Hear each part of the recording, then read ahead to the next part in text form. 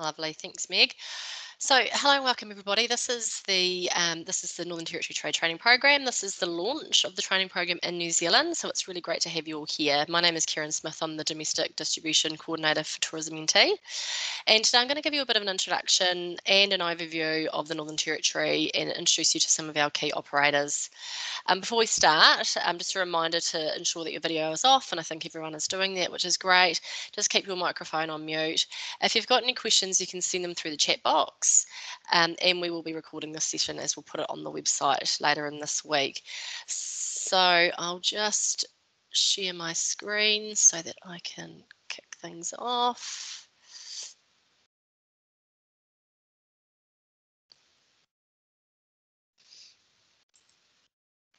All right, so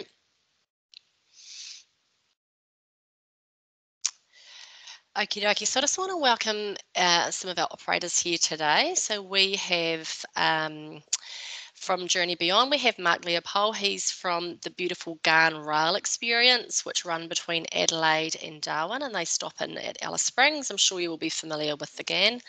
We have Peter Graham from Voyages, and they run Ayers Resort at Uluru and um, Resort is the only accommodation on offer at Uluru, but they have um, a variety of different options on offer. And we have Jeff Cameron Smith from Nautilus Aviation.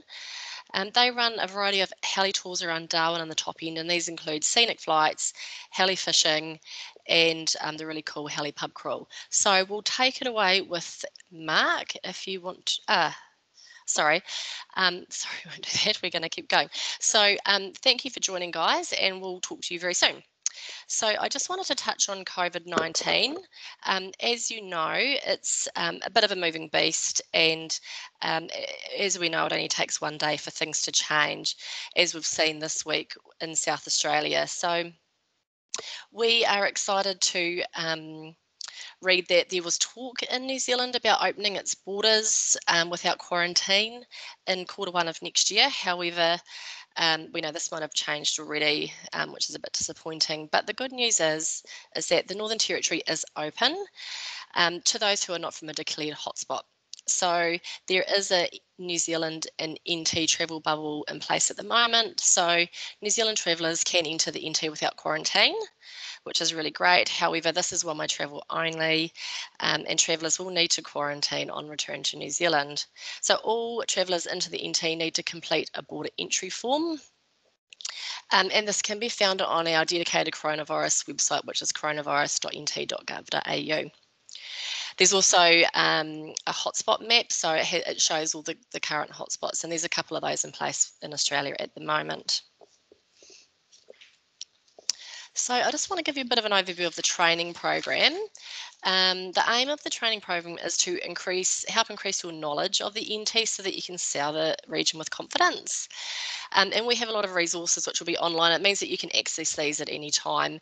And it also gives you a point of contact at Tourism NT. So if you've got any questions or um, queries or any something that you're having trouble difficulty understanding, then you can get in touch with us. And our contact details are at the bottom there at trade.tourismnt at nt.gov.au. So how the program works is that every quarter we'll host a webinar like this. We'll, um, it will be recorded and put on our website. So if you miss it, then you can watch it at a later date. We'll release a new online training module um, and a newsletter and every quarter we have some really great prizes up for grabs. Um, and to be into one, you just need to make sure that you've registered and watched the webinar that's either live or pre-recorded and that you've completed the module. So the webinars will take about 35 to um, 45 minutes each quarter. The modules will take about 10 minutes and there's three of these online at the moment and that includes an introduction to the NT, drive holidays in the NT and busting some myths about the Northern Territory and we know there's a few misconceptions out there so please um, when you have some time, go through these and get yourself a little bit more familiar with the Northern Territory. Um, we also have some really great trade resources on that site, and these include um, the other webinars that we've run with the Australian Trade Training Program, which you know are, are worth a watch. We have itineraries there, which are really helpful. Um, really great place for you to start if you've got um, a customer wanting to get some ideas of what they can do in the Northern Territory. We have the regional fact sheets. And these give an overview of each region and what's on offer. We have a link to our image gallery and um, we have our virtual journey. So these are some really good short videos which will just help you understand a little bit of the Northern Territory and the places um, that are sort of the key regions. And we also have some maps. So um, there's quite a bit there. As I mentioned, we have some really great prizes up for grabs. So every quarter we'll have more prizes. This quarter for the launch, we've got a fantastic prize on offer, and I'll just quickly run you through some of what's included on that. It's worth about $12,500, so it's definitely worth um, being part of the program. So it's a seven night package for two. It includes return economy flights from the nearest your nearest New Zealand city. There's three nights at Sails in the Desert, which is a five-star hotel at Uluru. There's a night at the Field of Light um, dinner experience. We have a astro tour, a traditional workshop, um, sorry, a traditional painting workshop. We have a tour of the Kata Tjuta Valley of the Winds. Um, there's an Uluru tour, um, including a barbecue at sunset. We have a sunrise camel ride. We have a night in the Alice Springs, entry to a desert park in Alice Springs. We have a beautiful overnight experience on the Ghan travelling through to Darwin and that stops in at Katherine. We have two nights accommodation in Darwin and entry to the Crocosaurus Cove. We have a really cool 30 minute scenic flight over Darwin that is with Nautilus Aviation and a dinner cruise with the Darwin Harbour Cruises. So it really is a trip of a lifetime.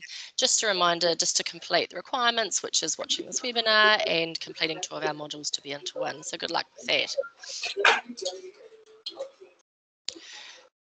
just want to ensure you know exactly where the NT is. As um, as you know, Australia can be confusing because it is so big. Um, but as you can see in the map here, the Northern Territory is the top and centre. So it is a huge territory, and it is about five times bigger than New Zealand. So it's it's it's pretty large. The population of the NT is about 245,000, and Darwin has about 150,000 residents. So it is a good sized city. And there's two main areas of the Northern Territory. We have the and that includes Darwin, the Tiwi Islands, Kakadu, Arnhem Land, and Katherine. So the top end is very green and lush. And then we have the red centre, which is Alice Springs, Uluru, and Tennant Creek. And so that's very dry and red. So flights coming into the NT, there are three main airports. They, they are in Darwin, Alice Springs and Uluru. So the connections from New Zealand will be through the eastern seaboard. That'll be Brisbane, Sydney, Melbourne, and, and I believe Adelaide too. The connections at the moment have been, um, you know, reduced obviously due to COVID, but um, these will be, you know, back up and running as soon as our borders have opened. So getting around the NT, it is a really good self-drive destination. Um, there's rental cars available at all of the airports, and we have some good itineraries on our website, which will help clients if that's what they want to do. Um, as I mentioned, it's a it's a huge region. So um, the length of the Northern Territory is about 1900 k's, and New Zealand is about 1600. So it's a fair distance. It's definitely not something that you're going to send your clients to just for a few days. They want to they want to come here for a, you know um, for a week or so. So it's really easy to get around by car. It's well serviced with all the usual transport and tour options. Um, most of the distances from the top end are about three hours um, and the red centre it's about five hours. So the distance is just a little further down there. And for those with some more time in their hands, we have a really great itinerary called Explorers Way, which will take them through the length of the Northern Territory, stopping at some of the more unique places such as Tennant Creek. So the NT seasons, we get a lot of questions about the seasons in NT, and that's mainly because it's a bit confusing as there are two different climates in the Northern Territory. So we're about to come into the summer season. So in the top end, the season is referred to as the tropical summer, and it lasts for about six months from November to April. And during this time, the weather is quite similar to Asia. So it's hot, it can be humid, and there are tropical uh, storms but it's when the waterfalls and the wildlife in places like Kakadu National Park really come along. The Red Centre is very much like the rest of Australia and New Zealand. It has four seasons, and during summer it gets hot. It can get up to about 35 degrees, and it's a dry heat. So um, there are plenty of swimming holes and swimming pools around for people to have a dip. Um, and it is also because of the temperatures, it's a really great time to to snag a bargain. So the NT is open all year round, um, but a really good time to visit, particularly for Kiwis, is during the dry season in the winter, and that's when temperatures are a little bit lower. Um, but it's a really great winter escape from New Zealand. So I know that you'll probably be fairly familiar with our icons. We have Uluru and we have the Kakadu National Park, but I just want to take you through just a sample of what else we have on offer in the Northern Territory. So you can take a swim with a five metre croc and live to tell the tale. And this is at Crocosaurus Cove in Darwin. Darwin is a really multicultural city and its close proximity to Asia means it has the best laksas on offer in Australia. About 100 k's north of Darwin are the beautiful Tiwi Islands, which are famous for the Aboriginal culture, fishing, and their love of footy. You can see crocs in the wild from the safety of a boat. You can discover the some of the quirky Northern Territory pubs on a heli pub crawl. You can cruise over floodplains on an airboat you can discover some of the fascinating wildlife like the buffalo here. There's a really great range of events and festivals on offer in the Northern Territory, and this includes the Taste of Kakadu, which takes place in May every year.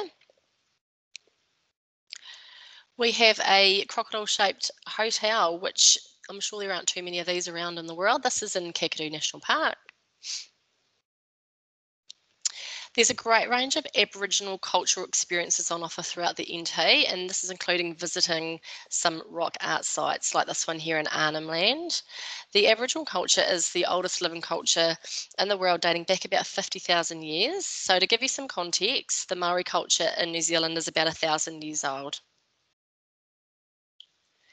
We have a huge range of beautiful clear swimming holes like this one at Elsey National Park. The Katherine Outback experience is where you can see horse breaking and working dog demonstrations. And Top Didj is where you can create your own Aboriginal painting and learn about traditional hunting and fire lighting techniques, and that's in Katherine. We have the Karlu Karlu or the Devil's Marbles in Tennant Creek, which are massive granite boulders, are about six metres high and they've been formed over millions of years. You can enjoy a really cool sunrise hot air ballooning experience in Alice Springs. So instead of um, attending the Melbourne Cup, you could come to the Camel Cup, which takes place in July every year in Alice Springs. We have a kangaroo sanctuary, which is home to abandoned and injured kangaroos. You can experience pure luxury on the Ghan, which travels between Adelaide and Darwin, and that stops in Alice Springs. You can experience sunrise on a camel, which um, these tours take place in Uluru and Alice Springs. We have a dining under the stars experience at Uluru, which is a once in a lifetime, definitely once in a lifetime experience. You can visit the Field of Light, which is a really cool installation made up of about 50,000 lights. And this is run by Ayers Rock Resort, and they have a variety of ways that you can experience this. And last but not least, probably one of the most beautiful things about the NT are the huge clear skies. So this is just a snapshot of what we have on offer. As I mentioned, um, we have itineraries on our website, so that's a really great place to start if you're looking for some ideas.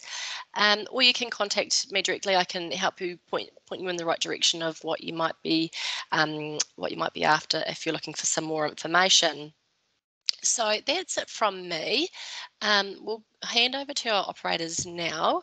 Meg, was there any um, questions? No questions. Great. Okie dokie. So we're going to hand over now to Mark from Journey Beyond. Mark, do you want to go ahead and share your screen? Yep, thanks, uh, thanks, Karen. Just one second, and I will share this. So now, are you seeing my slideshow there, or are you seeing the other screen? No, I can see your your slideshow is good to go. Slideshow is good to go. Excellent. In that case, I'll just turn off my camera. So, hi everyone. Um, thanks for your time today. Um, my name is Mark Leopold. I'm with uh, Journey Beyond, and we do own and operate the Ghan. But in addition to that, we also own and operate Darwin Harbour Cruises. So, I, and I'm going to start today by talking about our cruises up out of Darwin. Um, I won't talk too much about Darwin as a as a destination, but it is a fantastic place to go. And one of the best ways to experience the top end is on the harbour to see one of its famous sunsets. And you can do that with us on our Darwin Harbour cruises. So we only have two options of tours up here. The first option is our sunset dinner cruise. Now, both of the cruises are on the same boat, so they do go, they both run for two and a half hours. Departs daily from February to December. And the dinner cruise includes a, a beautiful dinner using or focusing on the local Australian Australian produce and seafood. Now, pre-COVID, it was served buffet style. We're still um, running the, the the dinner as a as a buffet option, but it is served by our staff. So our guests don't need to um, touch anything. So our um, our guests will serve serve the meals up there. Then, if people don't want to do the the dinner option, then we do just have a sunset cruise option as well. Um, the boat that we use is a three-level um, uh, catamaran, which you can see here on on your screen at the moment.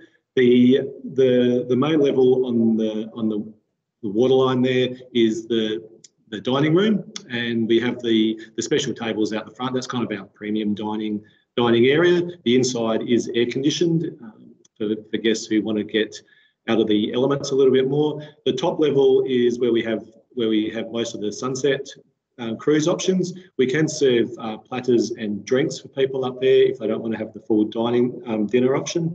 They can just um, do the sunset cruise and get a platter of local produce to enjoy while they're while they're doing it. Um, and then the middle level, we quite often we hire that out for, for groups and, and functions and events. So that can be hired separately. Of course, if if you've got a, a large group, then we can also hire out the entire boat as well. But it is a fantastic way to, to see a bit of Darwin and experience one of those fantastic uh, top end we have up there. Now, I did skip over a, a couple of slides, so I'm just going to go back quickly. Uh, no. Um, so as I mentioned, we can do events up there. We can charter for up to 270 people or, or one of the individual deck, depending on the size of your group.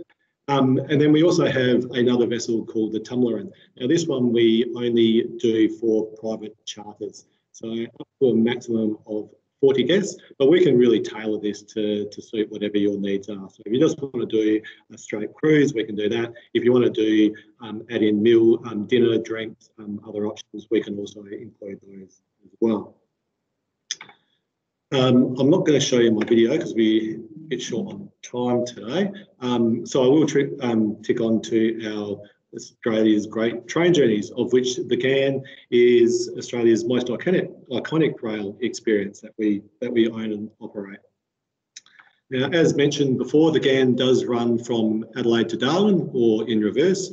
And I guess just quickly on the on the flight things, pre-COVID, there were direct flights from Auckland through to Adelaide and it's our understanding that those flights will resume once um, once borders open and demand increases. So a great way to fit the, the train into an itinerary would be uh, fly direct into into Adelaide, jump on the Ghan, and head straight up um, towards the towards the top end. Now, the Ghan Adelaide to Darwin operates February through to November. It can be done in reverse, um, but only in three, for three months of the year, February, March and November only. So this itinerary here is a three-day, two-night experience, and you can also do the individual sectors on it. So you can do um, Adelaide to Alice Springs, Alice Springs to Darwin, or in reverse, you can do Darwin to Alice Springs or Alice Springs to Adelaide as well. So if you if your guests are a little bit short on time, then they can um, they can split the journey up like that. Now, I guess one key point to remember about the trains is that we're not just a point-to-point -point travel service. We really do want to showcase the destinations that we that we travel through and provide a guest with a really good experience of those destinations. So on the Ghan, we actually stop the train and allow guests to, to do touring, which are included in the fares as well. So in the, the Northern Territory, we include tours in Katherine. So we have, well, depending on the time of year, we have three options there. All year, um, for the entire season, we operate the Nitmiluk Gorge Cruise. So that's the, the two gorges that we go into.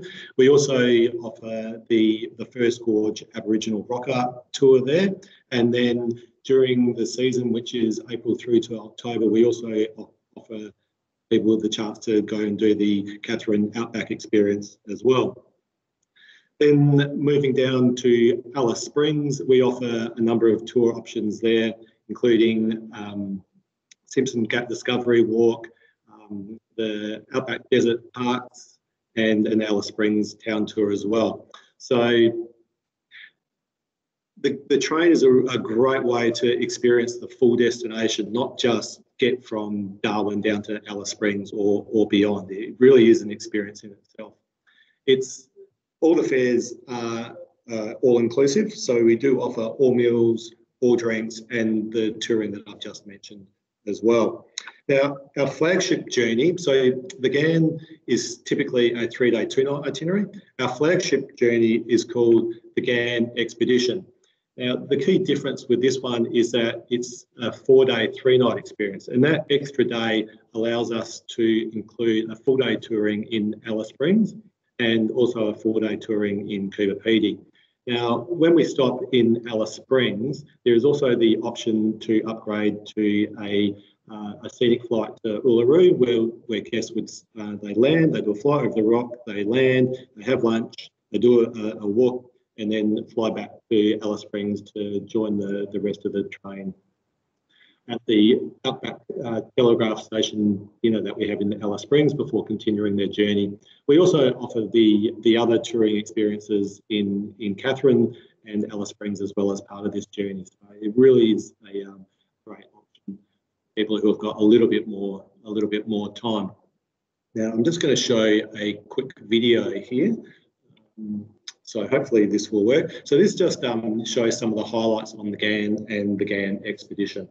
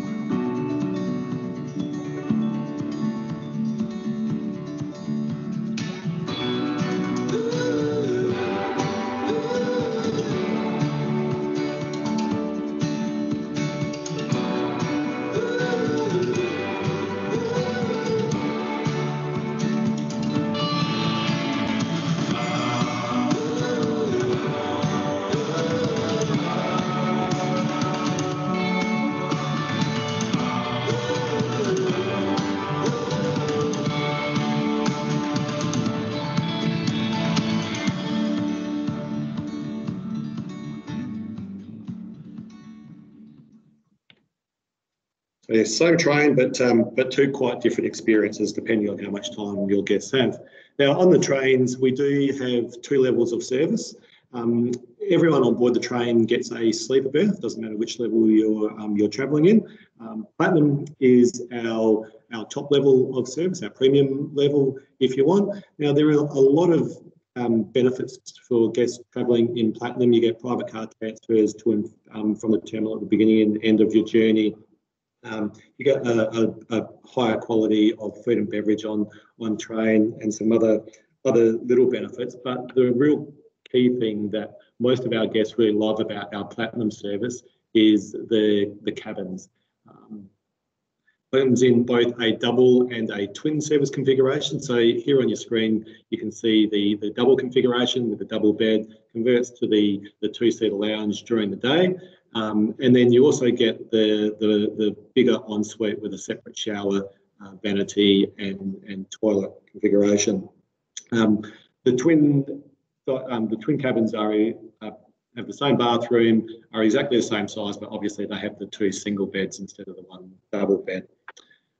Then gold level, for want of a better word, this is our, our entry level and probably our most popular um, level of service. Again, everyone still gets their own sleeper cabin. Gold comes in both twin and single cabin configurations. Um, but the main difference is that the gold service cabin, the twin cabins, have a single upper and lower berth at night time and a three-seater lounge during the day. And then the bathroom is more compact all in one unit. So you still get your, your own shower, uh, vanity and toilet, but it's just a, a little bit more um, compact unit for that.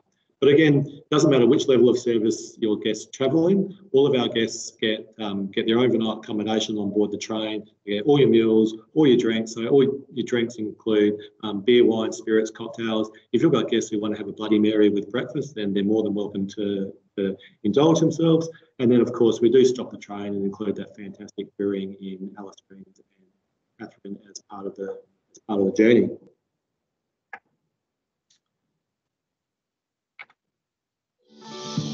Um, I probably won't show all of this because I know we're, we're running tight on time. I'm not sure how much time we, we do have left. So this is just Journey a few Beyond are the proud operators of the Ghan, highlights of Indian of Pacific, the train. Can Great you hit my Southern, video there and all?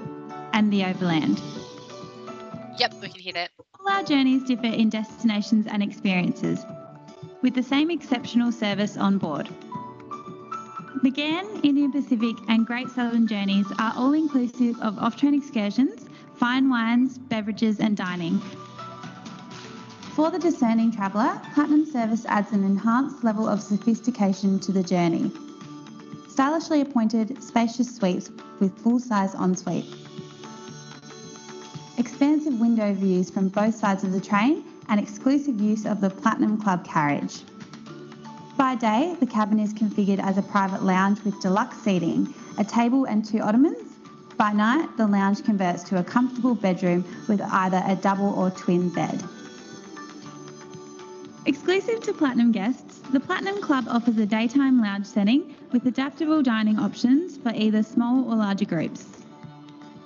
The Platinum host will be available to serve drinks, cocktails, and barista coffee. Our highly experienced onboard culinary teams work closely with local suppliers, farmers, and providors, sourcing the finest ingredients to create innovative, regionally inspired menus accompanied by all inclusive fine wines and beverages. The Outback Explorer Lounge is the social hub for Gold Service guests, the perfect setting to get to know fellow travellers, enjoy a beverage or a snack, and catch glimpses of the passing landscapes through the wide picture windows. Regionally inspired fine wines and dining is all included in the fare. We serve our three course meals in the Queen Adelaide restaurant. Gold Service twin cabins are the most popular level of service on board. The private cabin features an ensuite and a three seater lounge where guests can relax and watch the world go by. At night, the lounge converts to an upper and lower sleeping berth. Okay, I'll just uh, pause that there. Um, gives you a, a good indication of uh, of the, the cabins and the and the level of service. Uh, obviously, at the moment, um, with the, the global pandemic that we're, we're unfortunately living through, we have had to make uh, a few small changes to our our trips, but luckily we haven't had to alter the itineraries at all. So we're still operating um, or able to operate as normal. The Ghan season will kick off again in February next year. So hopefully by then we will have that travel bubble with New Zealand available. Now, we're not sure what restrictions we'll be operating under by February, but as it currently stands, Platinum service, we haven't had to make too many changes in because there's fewer people in that section of the train and we've got enough floor space to accommodate everyone. In Gold section, we have had to structure access to the lounge cars a little bit more and also structure the, the dining times a little bit more. Otherwise, we've implemented um, in, improved cleaning regimes as well as hand sanitizers on the train, as well as um, managing how guests get on and off the train and coaches for the, uh, for the off-train touring and experiences. Um, otherwise, that's about, I'm not going to show that, but um, but that's me in a in a nutshell and the Ghan uh, rail journey. So if you do have any questions, please feel free to, to shout out or um, email them through and I can uh, get back to people individually. Thanks a lot for your time. Great, thank you, Mark. That was really interesting. Meg, did any questions come through during that presentation? No, no questions have come through yet. So thank you very much, Jeff. That's great. Lovely. All right. So oh, next Mark. That's all right. Next we actually, we have uh, Rafaela Dreskler from Voyager. She's actually stepped in for Peter Graham. So, Raf, if you're ready and want to share your screen, you can take over. Hello, everyone. Thanks for your time today. Let me quickly get my presentation up. I'm not. So, can you see my presentation? Yeah. Mm -hmm. Okay, perfect. Well, welcome everyone to Uluru, the spiritual heart of Australia, right in the center of our beautiful sunburnt country. How do you get to us? At the moment, flights from Brisbane and Sydney. So at the moment, two times a week from um, Brisbane and three times a week from Sydney, which will be increasing, hopefully, fingers crossed, if there's no more border restrictions, to six flights a week from one. So coming from New Zealand, your clients would either fly into uh, Sydney or Brisbane. At the moment, Sydney is open uh, for visitors uh, from overseas or from New Zealand. And um, you probably uh, would need to do one or two nights there because the flights depart fairly early in the morning. They depart around 10 a.m. So you can usually not get a connection. But if they do a few nights there, and then once Queensland opens their border, it's a perfect triangle. So you fly into Sydney, do some shopping, go up to Uluru, have some relaxation time and experience a bit of desert lifestyle and the Australian outback. And then you could make your way to Brisbane and go down to the Gold Coast. So there's a few itinerary options there. Now, I'll just show you what awaits you when you get to us.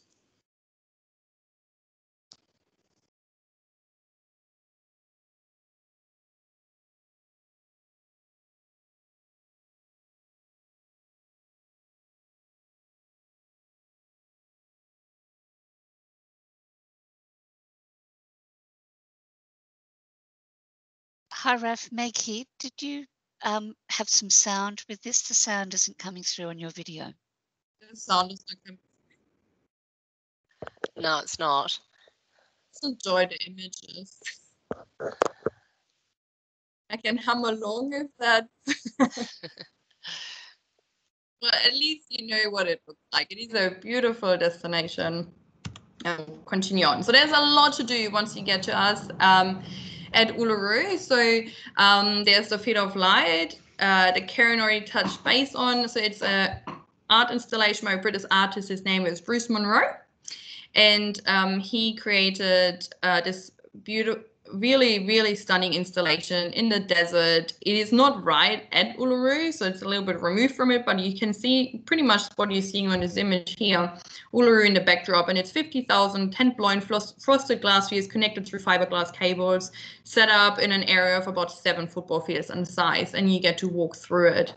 There are different options. So what's currently running is Field of Light Star Pass. Uh, will take you out 30 minutes um, prior to sunset. So by the time you get to the dune, you're just just around sunset time, and you there during the twilight. You see the lights turn on. You're on an elevated dune top. Get canapes and drinks, and then at the end, um, once once it's dark and the lights are all fully illuminated, you get to walk through the field of light on a self-guided walk. It's great opportunity for photos. It's really amazing for your Instagram. Um, your Field of Light Pass, general admission runs every uh, night with one departure at the moment. From we're hoping from 1 April, depending on what numbers are looking for us, we'll be back to nightly departures with Field of Light Star Pass as well. Um, so Feet of Light Pass general admission will take you with a bus to the Field of Light. Um, you get to walk through the Field of Light. You don't have any drinks or meals included. It's just really basic entry. It's $45 per person, uh, Australian, and um, you get to walk through the Field of Light, but you can spend quite a prolonged time there. So those, this is a really good option for uh, people very interested in photography because you get that time to set up your camera and get that, that perfect picture. A Night at Field of Light is our dining option. That starts up again from the 1st of April. So we had to pause it due to COVID. We'll pick you up an hour prior to sunset. You get canapes and drinks while you watch the sunset overlooking the Field of Light with Uluru in the backdrop. You get a three course dinner on shared tables. It's um, entree served at the table and then you have a buffet style um, mains and desserts. And you get a star trek as well. So one of our local astronomers will come out and he will do a explanation on this mainly based on light because you know you get to see the field of light. And it will explain to you how the night sky the lights work and it's, it's very very interesting how light travels and all that. And um, all of our tours always include transfers to Uluru. Sounds of Silence, another outdoor dining options it's part of the Australian Hall of Fame. It's been there for 25 years, and it's very similar to a United Field of Light, um, except you're not near the field of light. So you're on a different dining side, and um, you get a prolonged star talk. Um, it's a little bit shorter than the other one. So at the moment, because we don't run another field of light, I would recommend you to book both things. You book Sounds of Silence on one night and the Star Pass on the second night. Um, but you can do that at any time. So if you want your clients to experience have something else to do in the evening, you can always divide that up. There's so much more to do at Uluru. So if you're not keen on walking the place of Uluru, you can Segway. You can go around by motorbike. You can see it by helicopter. So there's there's a lot, a lot to do. You can bicycle ride around Uluru. Um, but once you get to us, there's five accommodation options. So we have um, hotel options from five star, four star, three star. We've got a lodge and a motor. We've got budget rooms. We've got a campground. So there's pretty much anything, something for every budget and every kind of traveler.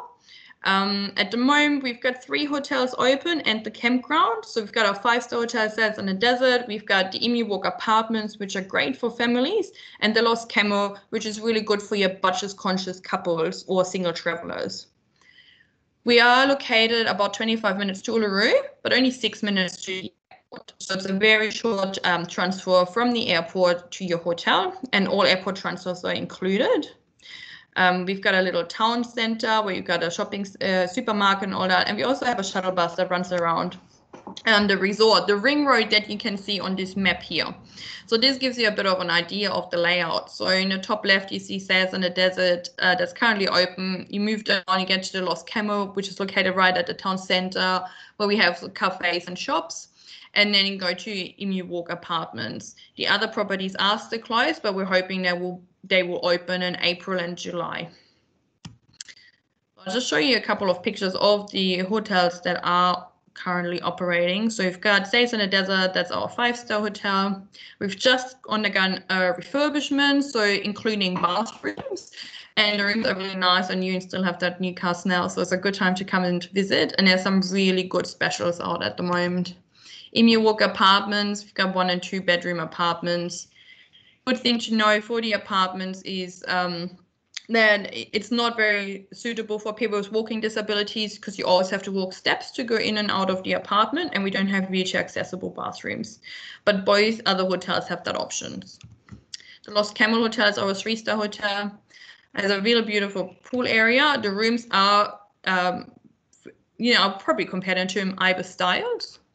Um, this is our lead-in hotel, so good for couples. It has a fairly open bathroom, so you probably don't want people there. They are not very comfortable with each other. Then maybe just book two rooms or put them in an apartment. Yeah.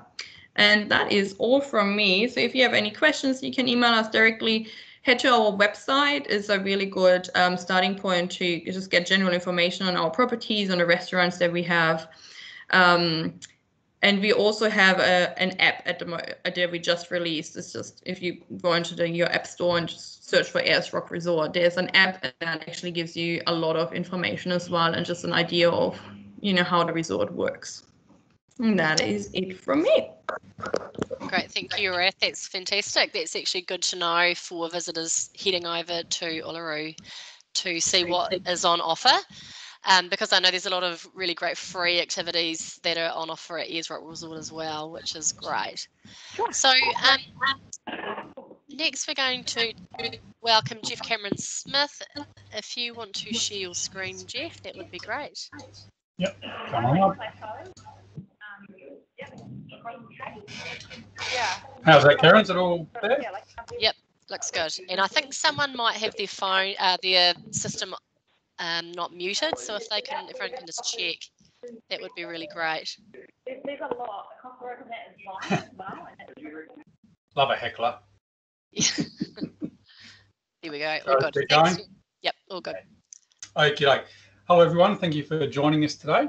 Uh, my name is Jeff. I'm the sales manager for Nautilus Aviation, uh, both Queensland and the Northern Territory. So you may have heard of the Nautilus brand um, from other areas. We've actually got a base in Townsville. We've got one in Cairns, Port Douglas, uh, and the Torres Strait as well on Horn Island, and also a very active base in Darwin, which is what we talk about today. So I'll just uh, click through these slides and give a bit of a rundown on the variety of things we can do. Uh, starting with Darwin City scenic flights. Uh, we do scenic flights to Litchfield and Kakadu National Parks as well. We tie in a lot of the iconic activities in Darwin region, things like airboats, uh, cruise on the wetlands, jumping crocodile cruises. So we use the helicopter to tie all those together and you can do all of those in a single day.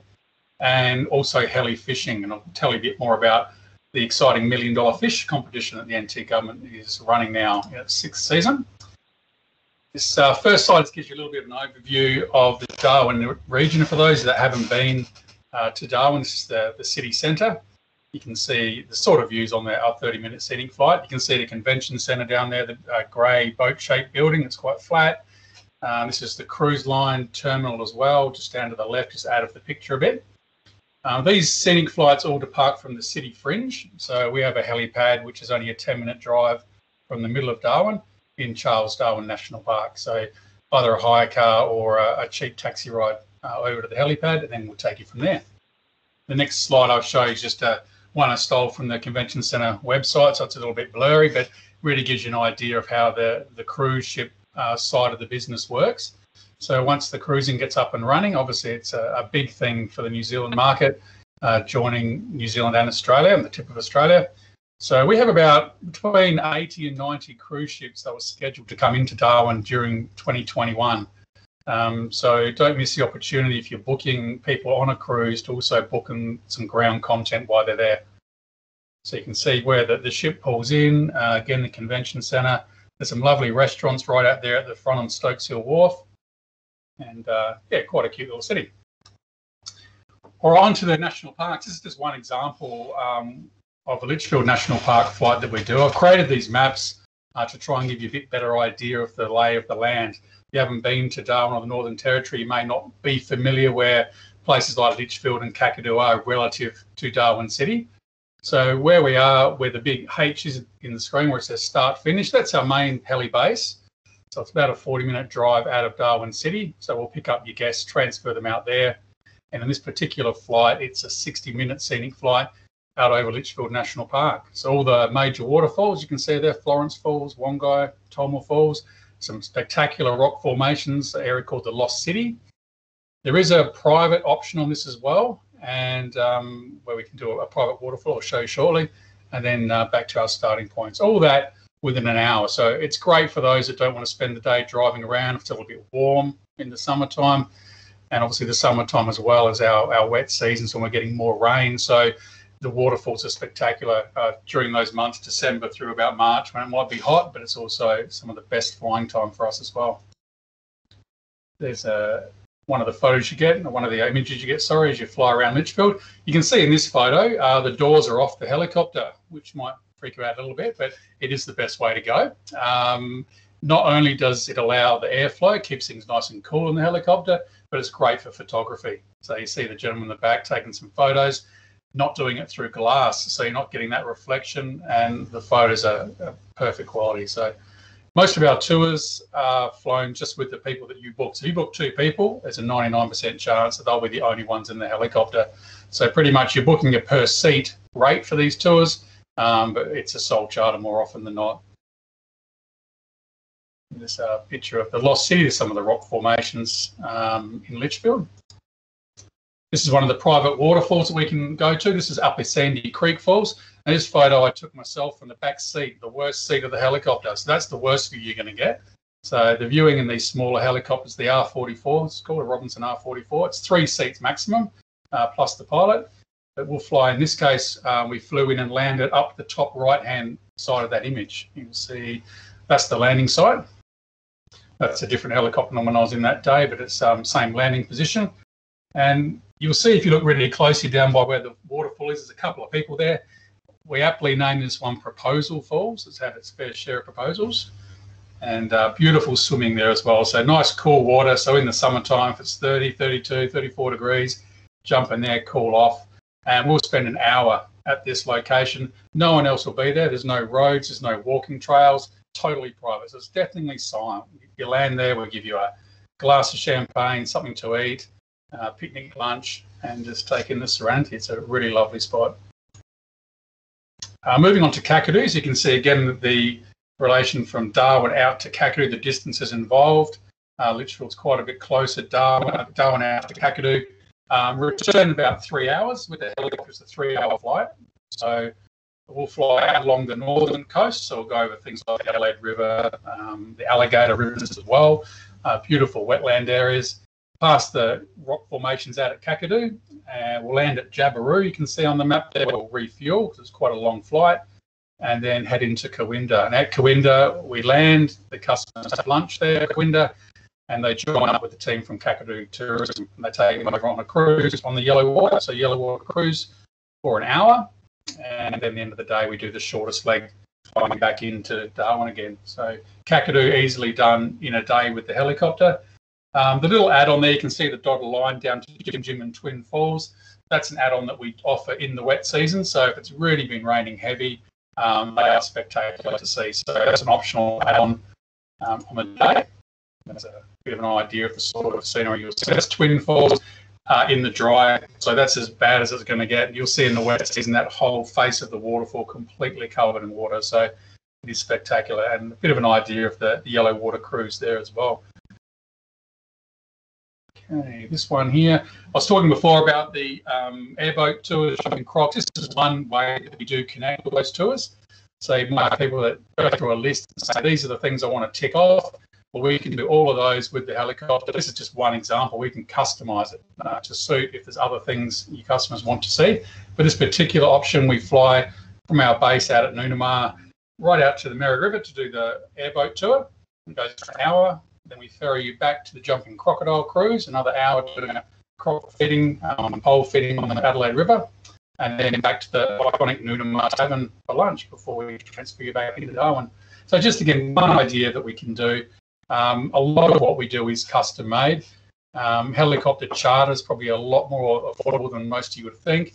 Um, roughly $1,000 an hour, you can get your own private helicopter. So um, if you don't like what's in the brochures, what's on the sites, then talk to us about what we can do to, to customise for you. This is the um, Wetlands. You can see the airboat tour down there. Got a thrill ride. It's exciting stuff. It's all fan driven. The bottom of those boats has got nothing hanging down. There's no keel. There's no rudder. So it's it's steered purely by the way they blow the wind out the back of that fan on, on the airboat. So that's quite an exciting option. Um, it won't suit people under four years of age, or maybe someone that's got a back problem, or they are smooth travelling. But if you you've got some issues, like know, pregnant women, for instance, you might want to take the other option, which is um, the Wildlands Cruise. You can see down there on the right, the same location. Um, we just take you on a, a, tour boat rather than the airboat, so it's a lot slower. Um, it's equally as interesting because it focuses a lot more on the bird life. Uh, you can see one of the, the storks here at the top.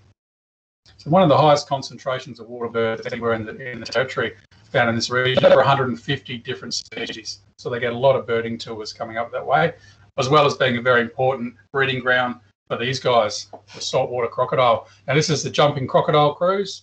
I saw Karen had the same photo. One of you got that from. Was that mine, Karen, that you stole? That's fine if you did. That's good. not I'm not sure. I'm not sure. from Spectacular Jumping Crocs. Um, the Adelaide River, where these are run, this is the highest concentration of saltwater crocodiles anywhere on the planet. So you stay as you go up there, you could literally walk across the backs of the crocodiles from one side of the river to the other. There's that many of them, and they do perform. So they know the boats are there. They come very close. Um, the day I went out most recently on that one, the crocodile feeding like this, his head actually landed on the blue part of the boat. You can see that when he came down. So they do get extremely close. You get a really good look, some great photos, and obviously some amusing commentary that goes along with the guys that take the boat. You'll meet crocodiles called fluffy and tripod things with one leg missing or half a jaw missing from a fight with another croc. So a lot of stories that go along with it. Makes it a really interesting day. Okay, moving on to heli fishing. Now, heli fishing is probably the, the biggest thing we do in Darwin. It's the most popular option of all. It might sound a little bit niche straight off the bat, but um, we're finding a lot of people go out there that have no fishing experience whatsoever, and they're using the fishing tour um, as a, a, way of seeing the sights as much as a, a, fishing trip. So again, from our heli base where the start finish sign there is, we'll go out to those areas in the north where it says Cape Hotham and the coastal creeks and wetland area. That's our half day heli fish. So we'll fly up to an hour in total around those regions. And on the map, you'll see the sorts of things we're flying past. Again, the Adelaide River, which we just saw the jumping croc. So we'll see plenty of crocodiles on a standard helifish tour uh, to the point where we'll fly into some of the landing sites and there'll actually be a crocodile where we want to land. So we'll have to hover over the croc to give it a bit of a hurry on.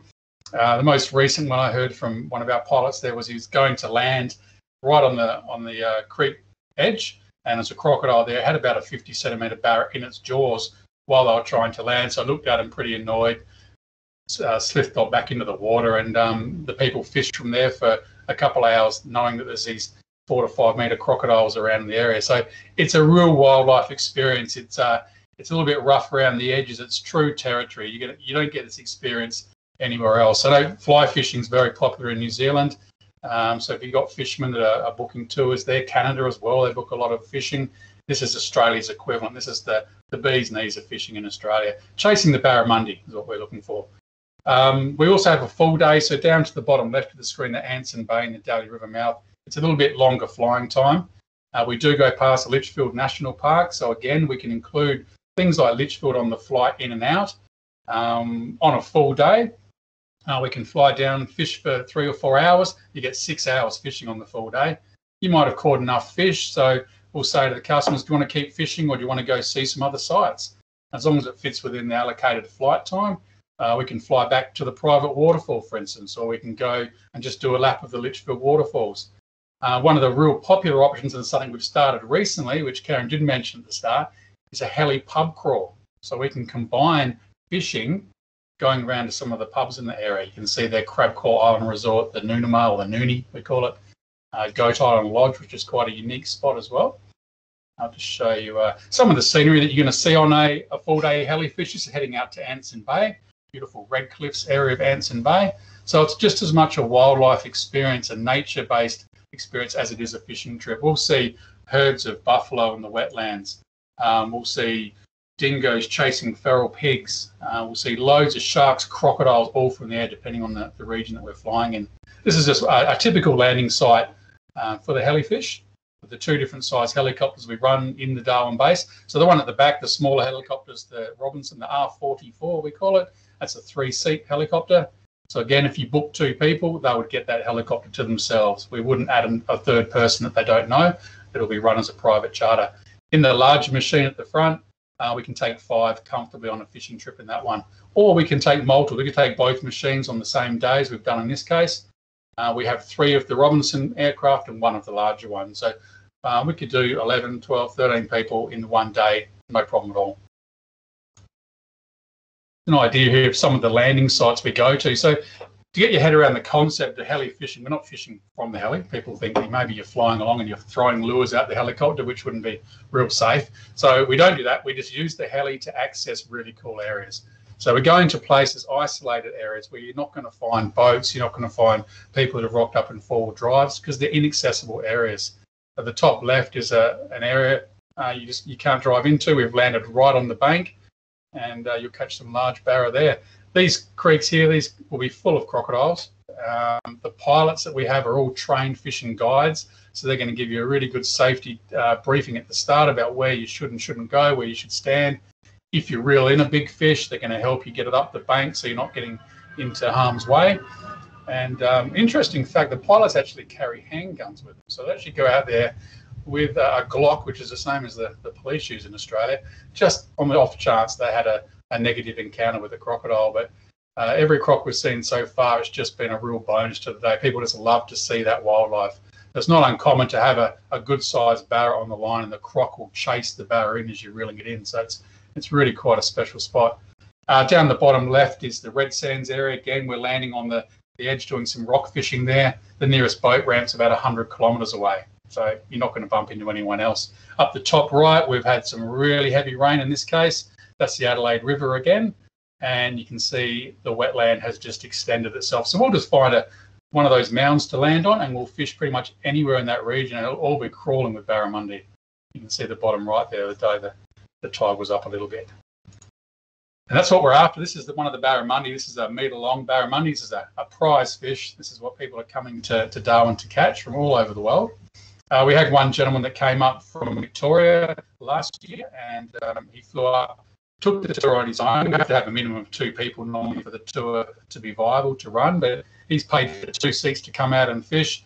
Uh, caught a fish this size within the first 10 minutes of his six hours of fishing.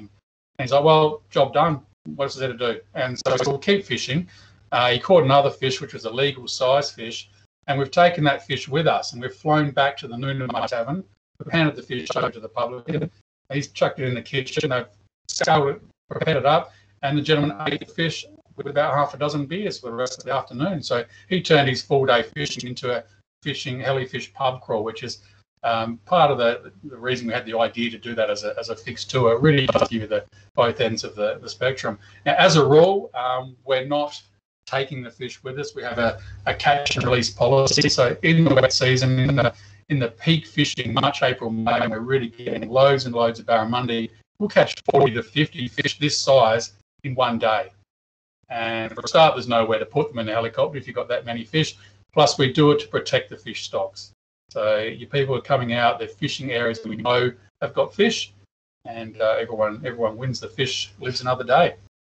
Now there is um, a competition which has been running for the last six years, which is called Million Dollar Fish. Um, I'll just actually go on past that one for a sec. This is I'll go back to those other slides. Uh, the Million Dollar Fish um, is a competition that the NT government have been running into the sixth season now. So uh, started on the 1st of October, go through to the end of March. And this competition, they tag the fish with up to a million dollars in prize money. So there's been seven fish with a million dollar tag on them. At this stage, all seven are still out there. So don't sit around, hurry on. Um, good news is $10,000 fish. There's 100 of those. We've had seven of those caught already this season. So that, as well as right down the bottom, there's one called a double tagged barra where you get a $10,000 prize if you catch that fish and uh, 5,400 your mates. So one of those has been caught as well. So you can still see there's loads of opportunity there to still catch a lot of fish. I'm trying to back up the, the slide here to see if I can get it to go. That's what I was after. So that's um, the Heli, Helifish pub crawl day would work. So in this case, we're flying up to the fishing zone in the morning, that area with the red box, for about three hours of fishing. And we might have three or four different sites within that area that will move the heli around to make sure we're catching lots of fish. And again, the customer can decide on the day how they approach it. In that case, we then fly down to Goat Island Lodge, and that is a, an island right in the middle of the Adelaide River. You're sitting at the pub there. You can only access it by helicopter or a boat. There's no no way to drive there, and you'll be sitting at the pub up on this Queenslander-style building, looking down at the Adelaide River, and crocs will come up out of the water and feed on the edge. So it's a really special experience for, for visitors. And then go over to Crabclaw Island Resort, um, where we've got the beach landing we do. That's the, the landing there at Crabclaw Island Resort. And uh, you buy beers, you can have, have lunch there if you like. Beautiful setting. Uh, back to that then. And that is me. That is the end of all our, our slides. So um, just to clarify the connection between Nautilus and Helifish, we've got two brands that we run in the Darwin region. Uh, Helifish itself, you go to www.helifish.com.au, that'll give you all the information on Helifish, some pretty cool videos of how the day works.